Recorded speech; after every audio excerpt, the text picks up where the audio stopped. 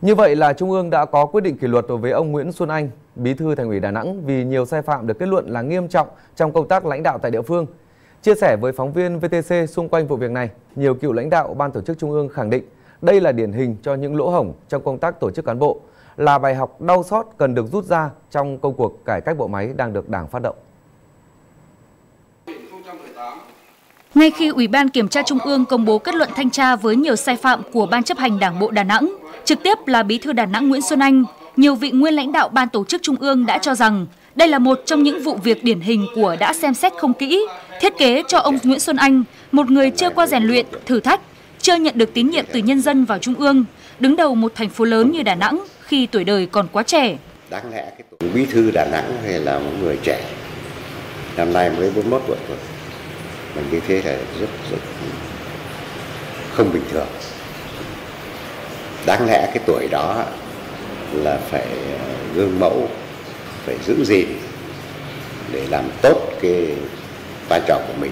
Hai ba cái, cái, cái sai phạm chưa phải một cái. Tôi đã biết lúc trước thềm đại hội, tôi đã biết họ đã chuẩn bị cho Nguyễn Xuân Ánh vào vào trung ương rồi. Họ đã biết đưa Nguyễn Xuân Ánh vào là bí thư thành phố Đà Nẵng. Tôi rất trân trọng lớp trẻ. Vì lớp trẻ là đội hữu bị của Đảng các mà, trong điều lệ Đảng mà.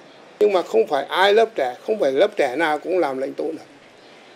Không phải lớp trẻ nào cũng làm đứng đầu một cơ quan một tỉnh, nhất là thành phố Đà Nẵng. Thì lớp trẻ nó phải quá rèn luyện, quá thử thách, có dấu ấn được quần chúng tín nhiệm, được đảng bộ tín nhiệm. Người đứng đầu một thành phố làm con chim đầu đàn. Con chim đầu đàn mà hót vơ vẩn thì là chết rồi. Trước đó, trả lời phỏng vấn phóng viên VTC, nguyên Tổng Bí thư Lê Khả Phiêu cho rằng, ngay trong nội bộ của Đà Nẵng cũng đã không nhìn nhận, đánh giá nghiêm túc về những sai phạm của cán bộ, cho nên mới dẫn đến hàng loạt sai phạm của những người đứng đầu được Ủy ban Kiểm tra Trung ương phát hiện ra. Bí thư của của Đà Nẵng, thì tôi vào tôi cũng nói, nhưng mà thế nào thì cũng báo cáo như thế, nhưng mà trong lúc đó lại làm những cái không đúng. Nhưng mà không đúng thì không phải là thì dân không biết. Không phải là cái đảng bộ nó không biết. Biết nhưng mà cuối cùng ông không nói. Không nói là không nói trong tổ chức, nhưng mà nói ngoài thì người ta nói. Thế mà đấy cũng không cũng không nắm được. Cho nên bây giờ mới lên lên tiếng thì thành ra bây giờ thành lại trở thành không có vấn đề rồi. Xử một người để cứu một người, đó là điều từng được tổng bí thư nguyễn phú trọng nhấn mạnh đây cũng là mong muốn của nhiều vị cựu lãnh đạo của đảng. Những người vẫn đang ngày đêm đau đáu trước vận mệnh của đất nước